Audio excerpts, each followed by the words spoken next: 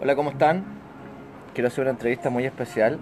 Uno cuando está en la escuela de periodismo siempre le pregunta a los deportistas, a los presidentes, a los políticos. Yo no. Siempre me imaginé cuál iba a ser la entrevista más difícil y más importante en mi carrera. Y ahora que lo pienso, nunca he entrevistado a mi mamá. Hola mamá. Hola, ¿cómo estás? Yo estoy bien y tú. Bien. Voy a entrevistar a mi mamá, que es una mujer que tiene una historia increíble y la quiero compartir con ustedes. Estamos en Barcelona, no sé cuándo la voy a volver a ver. Espero que pronto, ojalá en Chile, donde sea que nos toque. ¿Qué haces en Europa, mami? ¿Por qué viniste? Vine a Europa, en realidad, a ayudar a... No ayudar, en realidad, a compartir la cremación de una persona querida. Y mm, bueno, esa es la razón Viniste al funeral de la tía Miriam, ¿no? Sí, de todas maneras. ¿Quién fue la tía Miriam, mamá? Una buena amiga, también con cosas buenas y malas, como todos los seres humanos, pero yo le tenía respeto. Yo estuve con mi tío Jimmy y mi tío Santiago Bell, que fue intendente del presidente Allende, en donde, si mal entiendo, tenían una familia que acogía a niños de la calle, que vivía con la familia. ¿Cómo era eso? Tú también te criaste en ese hogar. Sí. ¿Cómo fue esa experiencia? Bueno, yo llegué a los 13 años a esa casa. Eh, en realidad fui reeducada junto con los muchachos de la calle. Ellos eran gente que se recogía, el padre Hurtado tenía ese, ese ¿cómo se llama? Ese, ¿Vocación? no, él hizo ese programa justamente para recoger los muchachos que quedaban botados en las calles. Y lo llevan a vivir a la casa de familia. llevaban- fue la primera experiencia que se hizo en Chile de, ¿cómo se llama? Del- de juntar a la familia, hijos propios con hijos que venían de afuera, lo cual era bastante difícil, ¿no? Muy difícil. Porque cuando tú tienes niñas chicas es, es difícil el asunto. Yo también era una niña chica, o sea, 13 años, no es mayor. ¿Cuántos hijos tenía mi tío Propios, propios? Hay mucho viento, pero no importa. cinco, ¿Y, cuánto, ¿Y cuánta gente, cuántos niños de la calle fueron adoptados como hijos? 25. ¿Y vivían todos juntos en la misma casa? todos juntos en la misma casa. Era una casa de una población que se había habilitado especialmente para Hogar de Cristo. Fue la primera experiencia en Chile, por lo tanto tuvo mucho, se le puso mucho énfasis a eso, a ese programa, porque era un programa realmente bueno y que, que podía dar sus frutos. Y todos vivían juntos, los niños en la calle, los hijos propios, todos, y eran todos, tratados todos. como hijos todos. Todo exactamente igual, Pero mantener a 25 cabros de darse una locura, pues mamá, ¿no? pero no mantenerlos, porque los mantenía una comunidad. Ah, era un trabajo en conjunto. Era un trabajo en conjunto de una comunidad y mi hermano le gustó la idea y lo hizo. ¿Y los niños de la calle cómo llegaban, mamá? ¿Qué situación habían enfrentado? Hubo terribles situaciones de violaciones, de, de cosas muy terribles para ellos. Vivían debajo de los camiones, eh, en el campo, botados. Bueno, muchos casos dramáticos realmente. El otro día estábamos comiendo y tú, acá en España, y, tú, y sirvieron, no me acuerdo si fue lenteja. Ujú, No, ¿qué fue? no sé. No, una comida que tú dijiste que tú no comías eso. Ah, garbanzos. Garbanzo. Y tú contaste la historia que yo nunca la había escuchado, que ustedes después del golpe militar se quedaron sin trabajo y te echaron, ¿cómo fue la historia? Te echaron de una construcción donde ustedes hacían trabajo para los Bueno, obreros. nosotros, después del golpe militar a la semana, nos despidieron del trabajo, quedamos de manos cruzadas y tuvimos que trabajar a lo que fuera. En una de esas partes, creo que es la última que trabajamos en ese tipo de cosas, fuimos a, a trabajar a una constructora, a hacerle comida a los, a los obreros.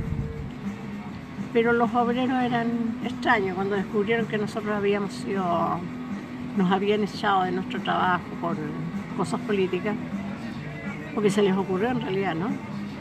Y mm, la represión fue muy fuerte, tanto que llegó la jefa en la mañana y dijo, ya chicos, váyanse a su casa porque ya no, esto no sigue. Bueno, antes de irnos a nuestras casas, la única cosa que nos regalaron ahí fue un saco de garbanzos.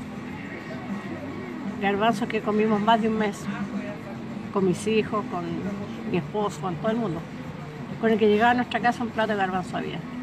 Entonces ahora ya no comí garbanzo, pero ya te traumás con los garbanzo, garbanzos. no, no, no, no, yo no como garbanzo. Porque te recuerda la peor época de la familia. No, ¿no? yo no creo que sea una cosa de época, sino un hastío estomacal, no sé, de cualquier tipo de cosa. Además que también recuerdo la historia, ¿no? Cuando vino la dictadura y toman preso a mi tío, ¿cuánto tiempo estuvo preso, torturado, detenido? ¿Cómo lo vivieron ustedes como hermanos, como familia, la, la prisión política de mi tío Santiago? Fue terrible porque, mm, bueno, él hizo muchas cosas, ¿no es cierto? Entre ellas la reforma agraria, ayudó con eso. Y fue martirizado muchísimo más fuerte que los demás. Porque ¿Dónde estuvo mi tío? ¿En qué cárcel?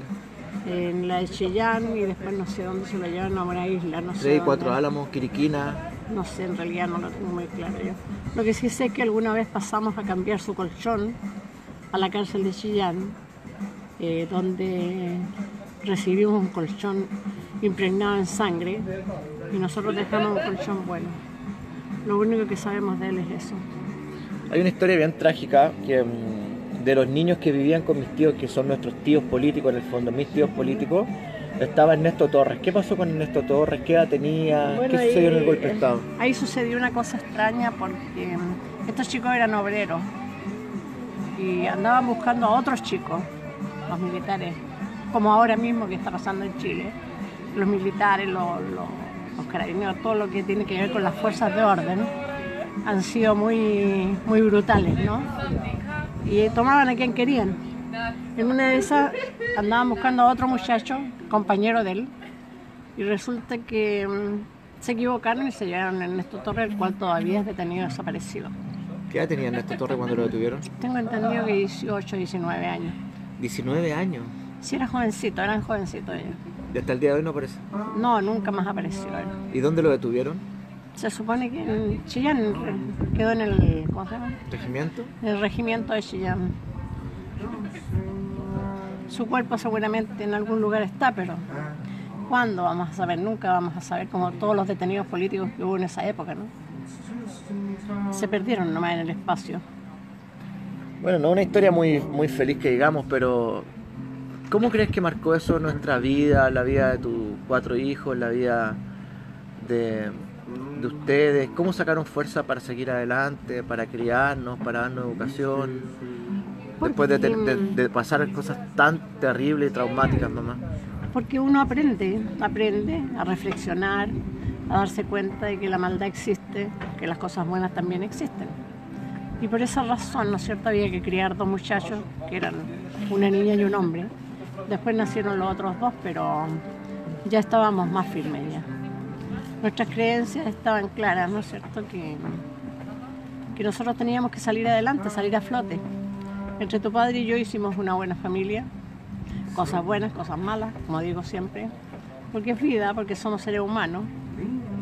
Y los seres humanos nos equivocamos, nos caemos, nos paramos. Y eso hay que aprender de la vida.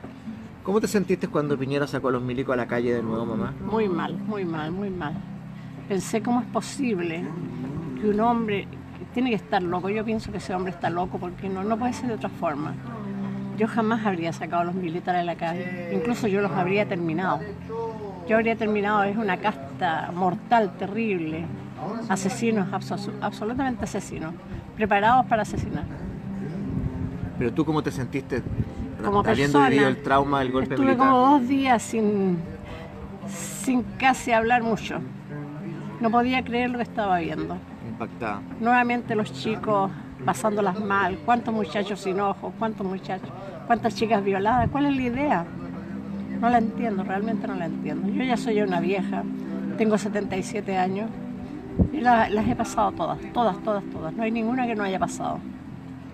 La única que no he pasado es la muerte y yo supongo que ya quedará poco. En eso ayer te hice una pregunta que me dejó un poco choqueado porque te dije, mamá, ¿qué te, qué? Te dije, mamá, yo no sé cómo voy a reaccionar cuando tú te mueras. Y te dije, yo preferiría morirme yo primero antes que morirte tú. Y tú me diste una respuesta que fue brutal. ¿Qué me respondiste? Mm, seguramente te dije que... ¿Cómo seguramente si fue ayer? Bueno, es que mis recuerdos también son, tienes que entender que mi mente no es la más clara del mundo, ¿no? Por la edad que tengo. Pero mm, yo creo que hay que seguir luchando, que hay que aprender a vivir con la vida y la muerte. Cuando nace un niño nos ponemos felices cuando muere una persona, deberíamos también ponernos felices porque esa persona dejó de sufrir. Lo cual es el caso de mi cuñada, ¿no es cierto? Que sufrió tanto, sufrió tanto que realmente es inentendible. ¿Cómo en el mundo puede pasar ese tipo de cosas? Tu respuesta fue no seas cobarde. Es lo mismo que estoy diciendo en otras palabras. más, más sutiles. Hay que ser muy, hay que ser muy valiente para vivir en este mundo. Todos los días nos encontramos con cosas terribles. Todos los días nos encontramos con cosas lindas, niños, qué sé yo, ancianos. Pero los ancianos realmente debería haber una estructura que terminara con ellos cuando ellos quieren. Porque realmente es brutal la vejez, muy brutal.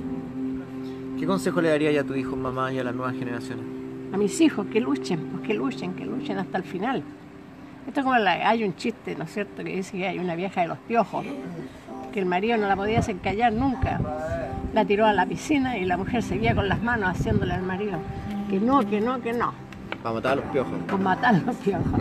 Entonces, eh, hay algo bien divertido en eso, porque mm, hasta el final la lucha se da, hasta el final. Hay que dar la lucha hasta el final, aunque sea con los ojos, con la mirada, con lo que sea. La lucha tiene que seguir. Y yo le digo a los chicos de Chile, por si alguna vez ven esto, sigan por el camino que van. No roben, no hagan tonteras, pero sigan por el camino.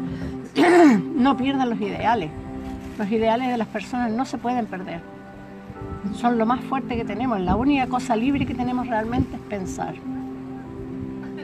No hay otra. Bueno, agradezco a mi mamá, la que me crió, la que me parió, la que me educó. Alguna vez me puteaste. De todas maneras. Más de, un, más de un charchazo me llegó. Más de algunos. y gracias, a a eso, eso- todavía mantenemos el equilibrio. Un poquito. Eh, estoy a punto de llorar y no quiero hacer show al frente de, de las cámaras ni del Facebook. Eh, gracias, mamá. ¿Para qué llorar? Bueno, si porque tienes tengo a tu ganas. mamá y tu papá y tus hermanos, tienes una gran familia. A las otras personitas también. Pero las tienes. Y eso es muy importante. Es muy importante. Te amo, entre paréntesis, te amo y amo a todos mis hijos, a mi esposo, a toda mi familia. Y a mi a hija, a mi hija especialmente. Bueno, gracias por ver esta entrevista Chao. tan personal a mi mamá, Bye. Chunilda Beljaras, una luchadora incansable. Incansable. Algún día quiero ser como ellos. Nos vemos.